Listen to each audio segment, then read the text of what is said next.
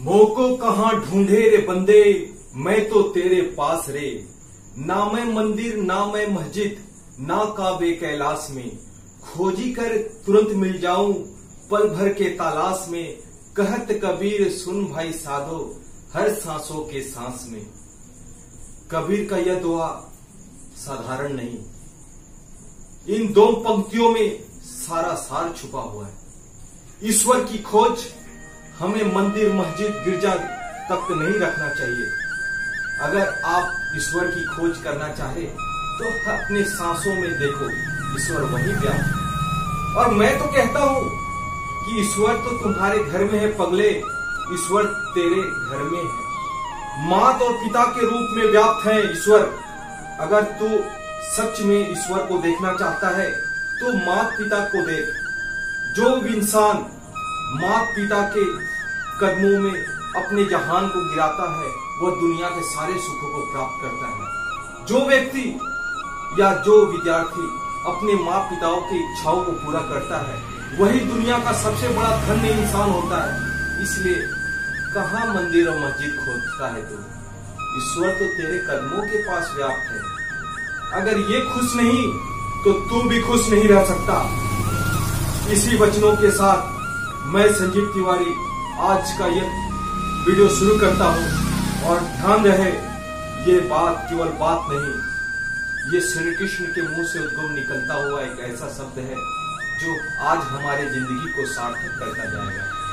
माँ पिता के चरणों में सारा दुनिया व्याप्त है, इस बातों को कभी सरलता से ना लो। क्योंकि अगर तू अपने माँ पिता के से अलग ज़िंदगी जीने का प्रयास करेगा तो अपने ज़िंदगी को कभी भी सफल प्राप्त नहीं करेगा। तो जन्माष्टमी के इस अवसर पर मैं संजीव तिवारी, आप सभी स्टूडेंट्स को स्वागत करता हूँ। Welcome to Jet institute of science आज जैसा कि आप जानते हैं कि जन्माष्टमी है और जन्माष्टमी में मैं कुछ अलग करने वाला हूँ और श्री कृष्ण के बातों को मैं शुरुआत करने से पहले आपको ये निवेदन करना चाहूँगा कि आप कृपया करके ईश्वर आपके अंदर है, आपके घर में व्याप्त है। माँ पिता और गुरु के रूप में व्याप्त है और इन्हें कभी भी किसी प्रकार का कष्ट न दे। भावना शारीरिक तो अलग चीज़, भावना के दृष्टिकोण से भी इन्हें कष्ट न देने का प्रयास करें। परित्राणाय साधुनाम, विनाशाय च दुष्कृताम, धर्म संस्थापनाय च संभवामी युगे युगे। श्री कृष्ण ने गीता में जो कथन कहा है, सारा दुनिया इसे अनुसरण करता आ रहा है।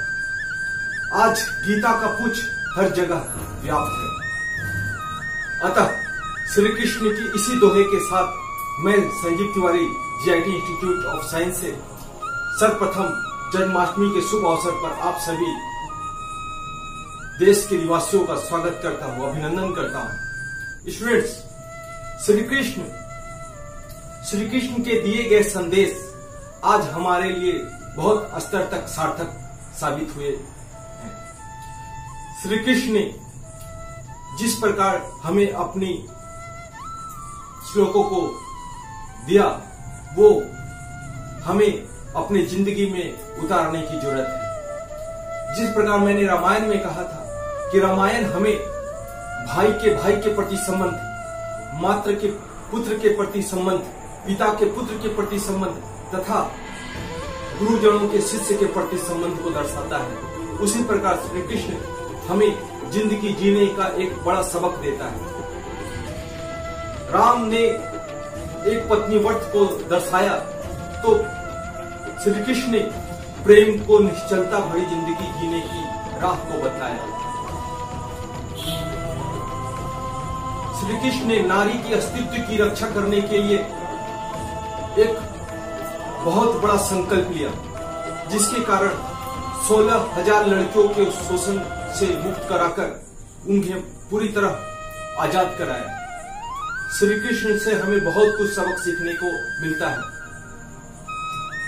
श्री कृष्ण ने कभी भी अन्याय का साथ नहीं दिया। उस, उन्होंने हमेशा शोषण के विरुद्ध कार्य किया। यही कारण है कि उन्होंने सर्वप्रथम अपने फुफेरे भाई शिशुपाल का वध कर दिया। उन्होंने यहाँ तक कि कंस का भी वध इन्हीं कारणों से किया। उन्होंने कभी भी शोषण का साथ नहीं दिया। हमें श्री कृष्ण से बहुत कुछ सीखना ज़रूरी है। हम जानते हैं कि आज का नया युवा पीढ़ी युवा पीढ़ी किस प्रकार नशा के लत में पूरी तरह बर्बाद होते जाता है। नशा हमेशा ही हमें गलत रास्तों में ले जाता है। सब कुछ दांव में लगा देता है। यही चीज़ कृष्ण ने अपने समय के काल में दर्शाया। किस प्रकार से? नशा अपने भाइयों के द्वारा किए जाने पर नशा हर तरीका का संभव है। जुए में सब कुछ दांव पे लगाने पर पांडवों ने द्रौपदी को खोया, जिसका परिणाम चिरहरण देखने को मिला। उन्होंने यह बात को दर्शाया कि आज का युवा पीढ़ी इस से सबक सीखे। कब क्या बोलना चाहिए और कब क्या ना बोलना चाहिए, ये चीज़ भी हमें श्री कृष्ण यानी महाभारत से सीखने को मिलता है। अपने कुल बधु को, अपने समाज में कैसे रहना चाहिए, इसकी भी सबक हम महाभारत से सीखते हैं। द्रौपदी द्वारा दुर्योधन को यह बोलना कि अंधे का पुत्र अंधा होता है, ये समाज पे एक बहुत बड़ा छाप है कि हमें अपने बड़ों के साथ कैसा व्यवहार करना चाहिए। दोस्ती का निर्वहन भी हमें श्री कृष्ण से ही सीखना की ज़रूरत है। श्री कृष्ण ने जिस प्रकार अपने भाई अपने मित्र सुदामा के साथ किया और द्रौपदी के साथ जिस प्रकार उन्होंने उदाहरण दिया, वो आज का समाज उसे अनुसरण करने लायक है। युद्ध को भी हर हाल में टालना चाहिए। श्री कृष्ण ने समूचे प्रयास किए कि महाभारत का युद्ध न हो। इसके लिए उसने अपने पक्ष को भी रखा। ये आज के समय के लोगों को इससे सीखना चाहिए कि किस प्रकार के वक्त हमें कैसा हालात में कैसा काम करना चाहिए।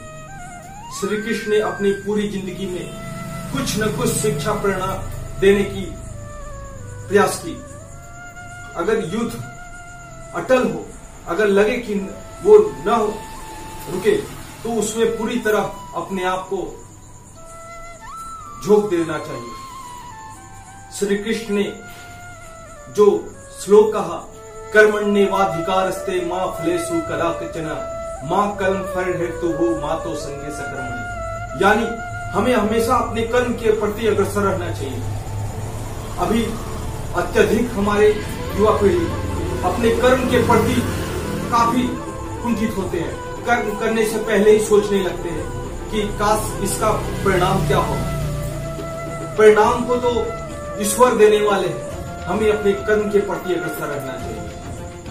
पूरे श्री कृष्ण ने पूरे महाभारत और अपने गीते, गीता में जो लिखा, वो आज के समाज को पदार्पण करने की ज़रूरत है। हमें उसे अनुसरण करने की ज़रूरत है। हमें चाहिए कि किस प्रकार अपने को कर्तव्य परायणता दिखाना चाहिए, अपने प्रति, अपने समाज में स्त्रियों के प्रति किस प्रकार का व्यवहार होना चाहिए, वो हमें महाभारत और गीता से देखने को मिलता है।